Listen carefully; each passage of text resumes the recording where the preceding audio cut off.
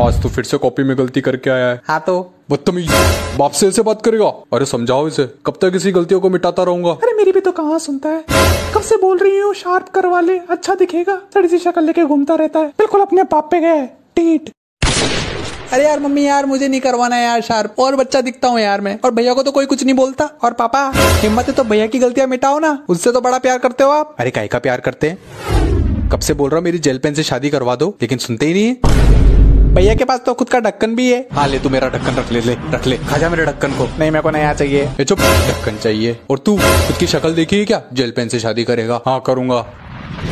Gel pen की refill कितनी महँगी आती पता है तेरे को? उसकी रिफिल बढ़ते बढ़ते तू नंगा हो जाएगा। मैं जा रहा हूँ यार। और निकल निकल। और सुनो जेल पेन से शादी करके लौटूँगा। लौटने की ज़रूरत ही नहीं निकल जा।